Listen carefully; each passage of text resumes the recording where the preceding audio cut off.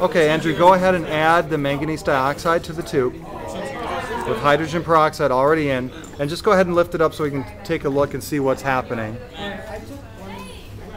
Okay, what do you see? What's taking place? Bubbling. Okay, we can definitely see that there's bubbling taking place in the tube. Okay, we can even see that there's oxygen, I think, coming out of the top. Okay, Simone, are you ready with that? Go ahead and get that burning.